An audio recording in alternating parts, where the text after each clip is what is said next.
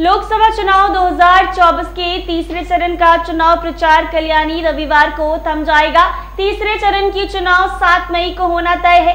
इस चरण में अधिकतर पोलिंग बूथ पर सुबह सात बजे से शाम सात बजे तक मतदान करेंगे। वहीं तीसरे चरण के मतदान में बिहार के कुल चौहत्तर उम्मीदवारों की किस्मत ईवीएम में कैद हो जाएगी। वहीं 14 लाख से ज़्यादा वोटर्स पहली बार मतदान करेंगे। दरअसल, अब तक सूबे के अंदर पहले और दूसरे चरण की वोटिंग को मिलाकर 40 सीटों में से 9 सीटों पर मतदान करा दिए गए हैं और तीसरे चरण में सात मई को पाँच सीटों पर मतदान होना है। इसमें झंझारपुर, अररिया, सुपौल, मध्यपुरा और खगड़िया लोकसभा क्षेत्र शामिल है।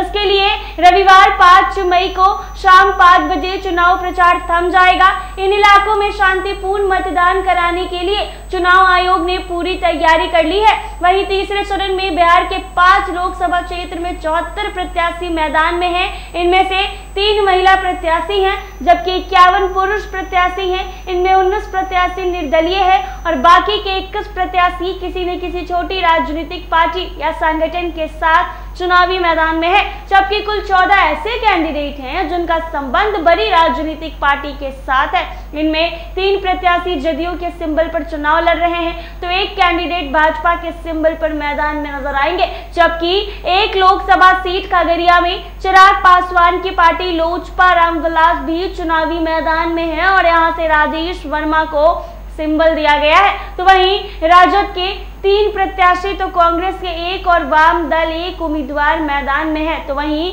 मायावती की बहुजन समाज पार्टी ने भी सभी पाँच सीटों पर उम्मीदवार चुनाव मैदान में उतारे हैं। इस चरण के सभी पाँच लोकसभा क्षेत्र में कुल अंठानवे हज़ार से ज़्यादा मतदाता अपने मतदान का प्रयोग करेंगे। इनमें पाँच लाख पुरुष मतदाता है, जबकि चार लाख महिला मतदाता अपने मत का प्रयोग करेंगे। थर्ड जेंडर मतदाता की संख्या तीन सौ बाईस है। इनमें पहली बार वोटिंग करने वाले 18 से 19 वर्ष से मतदाता की संख्या एक लाख से ज़्यादा है, जबकि 20 से उन्तीस वर्ष के मतदाता की संख्या 22 लाख है। उधर चुनावी आयोग की ओर से सभी पाँच लोकसभा क्षेत्र में कुल 9000 मतदान केंद्र बनाए गए हैं। इनमें ग्रामीण क्षेत्रों में 8000 से ज़्यादा मतदान केंद्र, जबकि शहरी में एक हज़ार छप्पन मतदान केंद्र बनाए गए हैं। तेरह चलंत मतदान केंद्र हैं। इनमें झंझारपुर में दो सुपौल में अठारह सौ अररिया में 2004 मध्यपुरा में दो और खगड़िया में आठ सौ छप्पन मतदान केंद्र बनाए गए हैं। जी हाँ लोकसभा का चुनाव है